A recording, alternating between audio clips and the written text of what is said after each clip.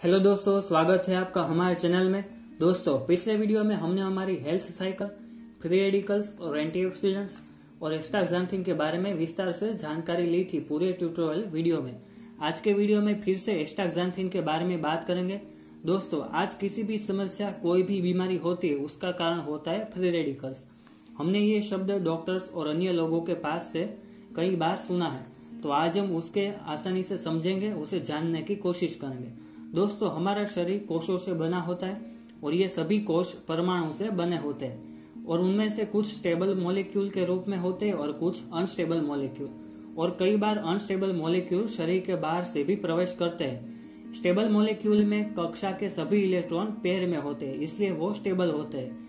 Unstable molecule में electrons की बाहर की कक्षा में पैर टूटी होती है, इसलिए उनको किसी अन्य मोलिक्यूल से एक इलेक्ट्रॉन चाहिए होता है अपनी पेयर को पूरी करने के लिए। तो ये अनस्टेबल मोलिक्यूल हमारे हेल्दी सेल्स के स्टेबल मोलिक्यूल पर हमला करता है और इलेक्ट्रॉन छीनने के लिए ये हमला करता है और स्टेबल मोलिक्यूल को अनस्टेबल बना देता है इलेक्ट्रॉन्स की पेड़ तोड़ के। तो इस तरह वो सेल भी अब फ्री रेडिकल्स में कन्वर्ट हो गया, वो भी डैमेज हो गया। अब वो किसी अन्य सेल से इलेक्ट्रॉन लेके किसी किसी भी सेल को डैमेज कर गया और इस तरह ये चेन बढ़ती जाने से बहुत सारे सेल्स डैमेज हो जाते हैं और हम किसी बीमारी या समस्या का शिकार बनते हैं। यह था फ्री रेडिकल्स और उनकी हानिकारक असरों का कॉन्सेप्ट अब बात करते हैं इसके सॉल्यूशन की। दोस्तों फ्री रेडिकल्स हमारे हेल्दी सेल्स को डैमेज ना करे, इसलिए हमारे शरीर को चाहिए होते एंटीऑक्सीडेंट्स दोस्तों, इस टाइप के मोलिक्यूल के पास एक्स्ट्रा इलेक्ट्रॉन्स होते हैं, जो कि फ्री रेडिकल्स को देकर उन्हें स्टेबल कर सकते इलेक्ट्रॉन देकर। जिससे फ्री रेडिकल्स कोषों के स्टेबल मोलिक्यूल को परेशान नहीं करता और एक एंटीऑक्सीडेंट्स करीब 19 फ्री रेडिकल्स को कंट्रोल करने की क्षमता रखता है। तो दोस्तों, इसलिए हम जब बीमार पड़ते हैं तो इसका कारण होता है हमारे शरीर में फ्री रेडिकल्स मोलिक्यूल की मात्रा बढ़ गई है। और इसलिए हमें डॉक्टर्स एंटीऑक्सीडेंट्स वाले फल से, जैसे कि एप्पल हो गया बेरी अनार, ये सब खाने की सलाह देते हैं, जिनसे हमारे शरीर को एंटीऑक्सीडेंट्स मिलते हैं और फ्री रेडिकल्स शांत हो जाते हैं। लेकिन दोस्तों, सभी फल सब्जियों में एंटीऑक्सीडेंट्स की मर्यादा होती है। ये स्लाइड आप स्क्रीन पर देख रहे होंगे कि अलग अलग फल सब्जियों की ऑक्सीजन रेडिकल एब्सॉर्बेंस कैपेसिटी यानी कि सीधी भाषा में बताओ तो फ्री रेडिकल्स को खत्म करने की मात्रा टमाटर, पालक, लहसुन ब्लूबेरी अदरक, अनार वगैरह की बताई है। तो दोस्तों, आज के समय में बाहर का पोल्यूशन जहरीले वायु और तत्व सांस लेने से बॉडी में आ जाते हैं। साथ ही जंक फ़ूड फास्ट फ़ूड का चयन, ये सब चीज़ों से बॉडी में टॉक्सिन्स का निर्माण होता है, ऐसे में फ्री रेडिकल्स शरीर में काफ़ी बड़ी मात्रा में उत्पन्न हो जाते हैं। और इसकी वजह से मनुष्य में काफ़ी सारी और काफ़ी गंभीर समस्याएँ, बीमारियों का प्रवेश होता है। तो इससे लड़ने के लिए हमें सबसे पहले सभी चीज़ों के लिए पहले इस्तेमाल हो सकता था, ये सब चीज़ों का फल सब्जियों का लेकिन अभी के टाइम में ज़्यादा और एक वैल्यू की और ज़्यादा एंटीऑक्सीडेंट वालों की चीज़ों की ज़रूरत हमें पड़ती है। यानी कि पहले हज़ारों में और एक वैल्यू हो तो काम चल जाता था, लेकिन अब लाखों में और एक वैल्यू हो, ऐसे हेल्थ सप्लीमेंट्स और फ़ूड सप्लीमेंट्स हमें चाहिए, जिसमें नोनी का बेहतरीन कार्य तो हम जानते ही है, लेकिन आज उससे भी बड़ा स्रोत हम देखने वाले हैं। साथ ही दोस्तों, ये एंटीऑक्सीडेंट्स वाली रेगुलर फल सब्ज़ियाँ, अभी पेस्टिसाइड वाली और कृत्रिम तरह से उगाई गई होने की वजह से शरीर में खास कुछ फ़ायदा करती नहीं है। पहले के समय में कुदरती तरह से उगाई गई सब्ज़ियाँ, फल, टमाटर, गोभी, सेब, केले, ये सब मिलते थे तो ये काफ़ी फ़ायदा करता है लेकिन आज के समय में ये सब चीज़ें रासायनिक खाद से उगाई जाती है, इसलिए इनमें अभी एंटीऑक्सीडेंट्स की मात्रा कम हो रही है, जिसको खाने से शरीर को ज़्यादा फ़ायदा नहीं हो सकता। और काफ़ी सारी बड़ी मात्रा में अभी रोग भी फैलने लगे उसकी मात्रा और उसके कैपेसिटी काफ़ी बढ़ चुकी है। और बहुत सारे लोग तो ऐसे भी होते हैं जिनको हरी सब्ज़ी या फल खाना पसंद नहीं होता। फॉर एग्ज़ाम्पल पालक अच्छी होती है, लेकिन आप में से बहुत से लोग कोई इसका स्वाद पसंद नहीं करता होगा, किसी को ये अच्छा नहीं लगता होता खाने में।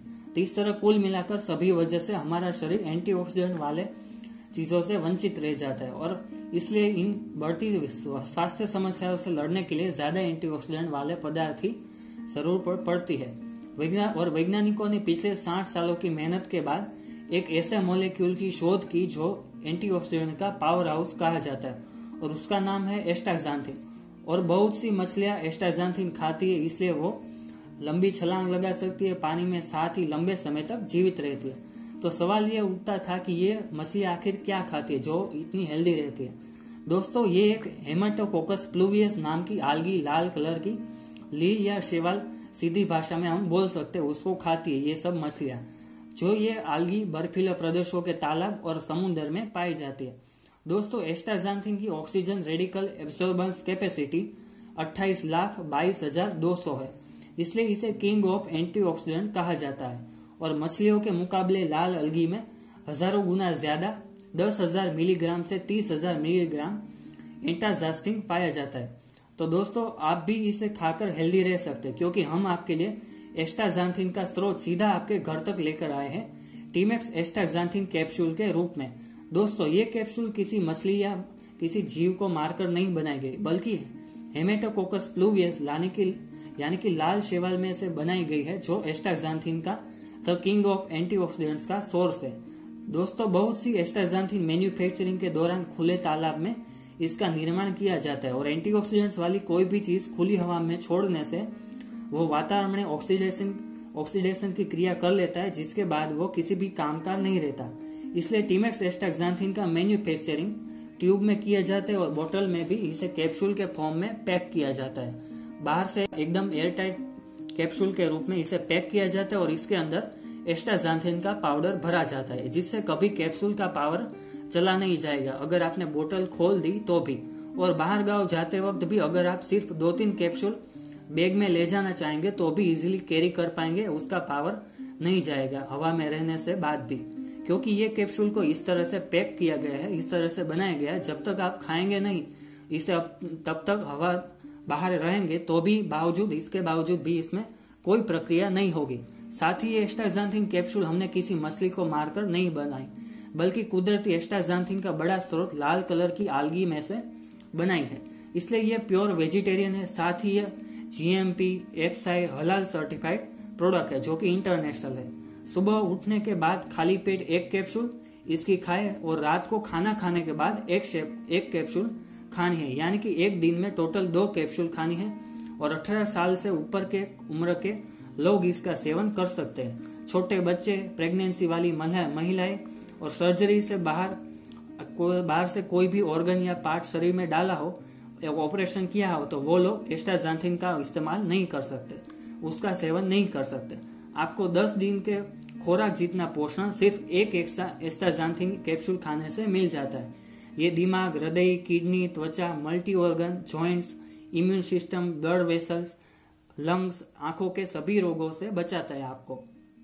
खराब कोलेस्ट्रॉल रक्तवाहिका से जमा होता है और ब्लॉकेज होने से रोकता है और कुल मिलाकर कंप्लीट बॉडी का मेंटेनेंस रखता है और हेल्थ का ख्याल रखता है एस्टाजांथिन तो आप भी रोज़ाना टीमेक्स एस्टाजांथिन कैप्सूल का सेवन करें और इसे, इसका सेवन आप अभी से कल से ही स्टार्ट कर दे, क्योंकि ये बीमारी व्यक्ति के लिए संजीवनी और स्वस्थ व्यक्ति के लिए वरदान साबित होता है।